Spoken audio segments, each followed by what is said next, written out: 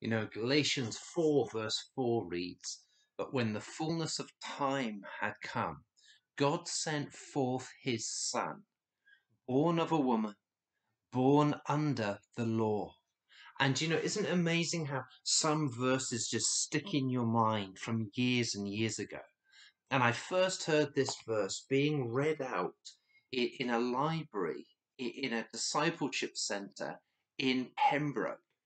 And it, and I must have been about age 6, 17, 16 at the time, 17.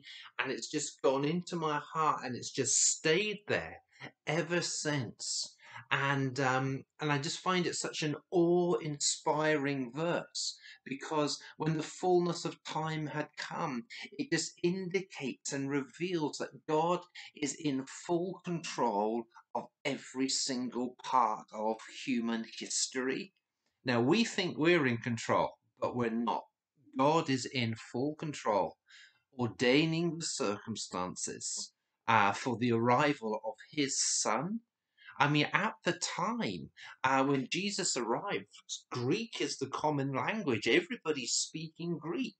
That the gospel can be communicated quickly. Uh, when the disciples take it out and, and write the gospels, it can be it can spread really quick because people understand the Greek. The Romans are in control. That they, they've built the roads. Travel has become much easier at the same time that the, the, Romans are controlling and ruling, and, and the Jews are looking for a Messiah. They're looking for somebody to liberate them from the, the influence of, of Rome. And exactly at the right time, God sends forth his Son, Jesus Christ. And Jesus, the Messiah, the anointed one, he comes in at the perfect timing of the Lord. And, and Jesus being sent forth from God. Uh, what, we, his, what we're seeing there is that Jesus pre existed. Jesus existed up in heaven before he comes to earth and becomes a man. You know, the Word becomes flesh and God dwells amongst us. I mean, this is incredible. Uh, it's so amazing, you know, and the fullness of time, God sends forth his Son. And Jesus, he is born um, of, of the woman, you know, uh, born of the woman. He's born of the Virgin Mary. And uh, again, this is God's perfect timing. You know, prophesied there in the book of Isaiah that, that, that you know, you'll be born of the Virgin Mary. He'll be called Emmanuel, God with us. You know, you know, here God is reve- revealing that that how can I put no revealing? God is becoming human. He comes down, born of the Virgin Mary, so that he can identify with us. He can identify with our struggles, with our temptations. And, and he comes to be born to save us from our sin. Because you see, Jesus is born under the law. Jesus was born a Jew. You know, he was born under the law, under the discipline of the law. He has to keep the 613 commandments of the Old Testament. Um, he, he keeps the moral, the civil, and the ceremonial law of Moses. And he keeps it in absolute perfection. Jesus didn't sin. If you break one of those commandments, one of those laws, then you, you, you've sinned. And Jesus never broke one law. Uh, praise God. Now, we've broken plenty of laws, we've broken plenty of rules. And that shows then that we have sinned.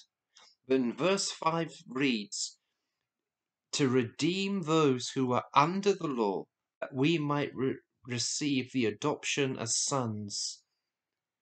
Jesus has been born in the fullness of time, sent forth from God the Father, born of a woman, born under the law to save us who are law breakers. Jesus has come He has paid the price on the cross of Calvary. He was the perfect sacrifice of God because he wants us to be adopted into his family, to become the sons and the daughters of God the Father. And this happens when we believe on the Lord Jesus. It's as simple as that.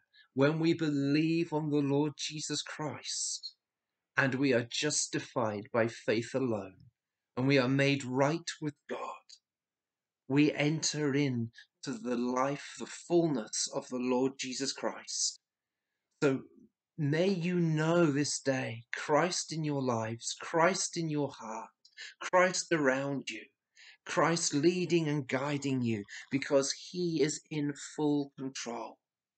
He existed before time began and he comes in the fullness of time to save men and women like you and me. We have so much to be grateful for. May we live in the awe and the wonder of a sovereign God. Let us pray. Heavenly Father, thank you for your sovereignty. Thank you for that you are in full control. Lord, may we look to you, the author and perfecter of our faith. May your Holy Spirit fill us, and may we reveal Jesus and his amazing wonder to those who are around us. Thank you, Lord. Fill us to overflowing. In Jesus' name, Amen. Amen. May the Lord be with you and continue to reveal to you the amazingness.